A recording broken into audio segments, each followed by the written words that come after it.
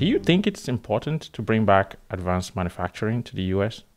I absolutely think it's important to bring back advanced manufacturing. I think we've got a long way to go there just because of we have outsourced this for a very, very long time 30 to, years. to our detriment. Also, the emphasis on the workforce isn't there. TSMC, you know, they're building giant plants here uh, now because of the CHIPS Act and everything else.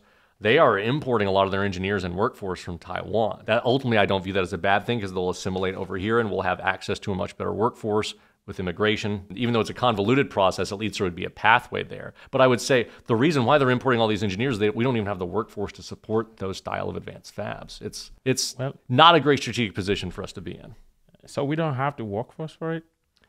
To, to staff up an advanced semiconductor fab Yeah. to the tune of TSMC style, no. I mean, the the, the chairman slash CEO of, of TSMC will say that very bluntly and has publicly. Wow. I see, I see why we have problems actually launching startups in that space too, because we don't even have people interested in it in the first place. Well, the pro- also the problem is there is there's a lot of interesting new technologies being developed in R&D. The uh-huh. problem is the cost of entry. So let's say you come up with a technology that really may increase the productivity or any sort of efficiency in the semiconductor realm. Testing it out is a hundreds of millions of dollar problem. You can't just like plop something into a semiconductor fab and see if it works. That's not how those things work.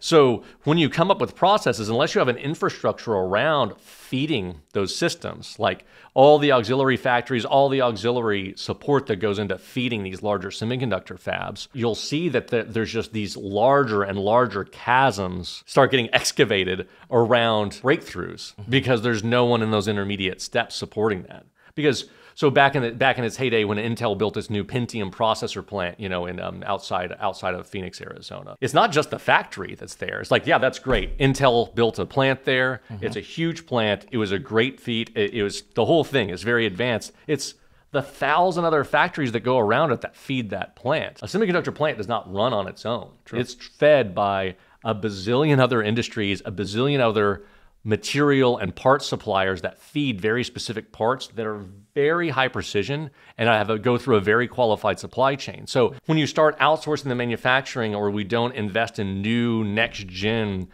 fabs here, the public immediately sees like, oh man, there's a $4 billion Intel plant. That was how much it cost, I believe, whenever they built that one in Chandler. Was $4 billion mm-hmm. dollars back then, by the way, not now. How long ago then. was that?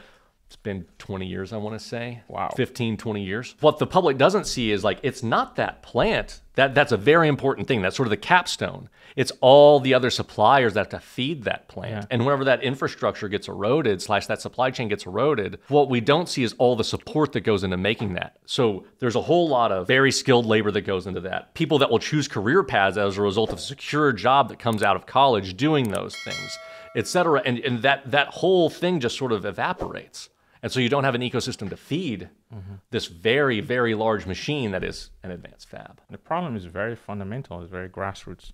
It's very grassroots. It's like we have to value manufa- we have to value making things versus saving a couple pennies short term. Uh-huh. The argument I always have with my friends is like we, we've been playing quarter by quarter capitalism and our competitors have been playing cent- decade by decade to Yeah. century by century capitalism and it's it's not serving a, a larger purpose for us. I'll put it that way. It's all about quarterly revenues versus what's our long-term growth and goal strategy. And we've kind of betrayed our future selves Yeah. because we want to make next quarter selves look a whole lot better.